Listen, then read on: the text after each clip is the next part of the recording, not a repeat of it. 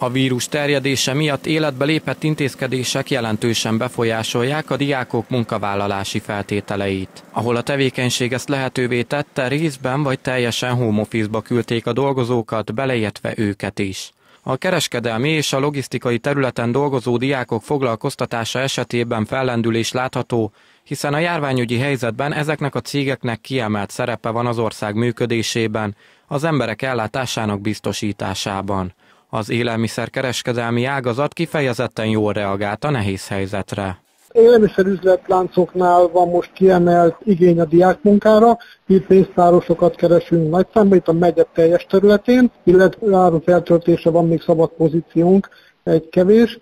Csomagolási munkák is van, itt például Nyíregyházán van olyan partnerünk, ahol naponta 15-20 diákot tudnánk vinni, tehát annyit tudunk foglalkoztatni, és ezt hétfőtől vasárnapig, tehát folyamatosan kéri a partner a diák munkavállalókat, illetve üzemétterembe keresünk diákot tálcázásra, telefonos ügyintézőket keresünk gumiforgalmazó partnerünkhöz, a kerék, téli csereidőszak van, és akkor itt lehet regisztrálni, egyeztetni, tehát ide is keresünk diák munkavállalókat. Illetve jön a decemberi hónap, és ilyenkor azért egy-két cég kéri a segítségünket, Mikulás csomagok előkészítésére, és ide is ilyen napi 8-10 diákot tudunk foglalkoztatni.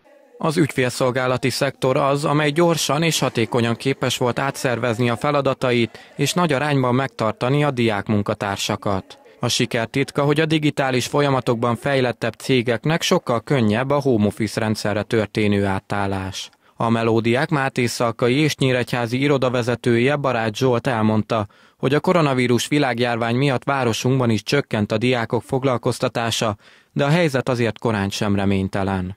Kettő partnerünk is van, aki átállt teljesen a home office megbízásra, tehát ő home office-ban dolgoztatja nem csak a diák, a felnőtt munkavállalót is, itt callcenteres munkavállalókat egész évben, és ő nem is fog már visszaállni, csak home office fogja folytatni, mivel azt mondta, hogy ez sokkal jobban bejött, és diákok jelentkezését is várja. Meg is keresnek bennünket diák munkavállalók, mivel hogy itt nincsen kötött időpont, hogy reggel 8 óra után négyig kell, ha iskola után, vagy az online oktatás után beül munkavállalónak a feladatait elvégezni, akkor akár két-három-négy órában is tudja ezt végezni. Hát itt mondanám, hogy az élelmiszer üzletláncok idézőjelbe profitáltak ebből, és az megemelte a diák létszámot, tehát mondhatom azt, hogy ilyen heti 150-200 pozíciónk van ezekben a szektorokban a diákmunkásoknak.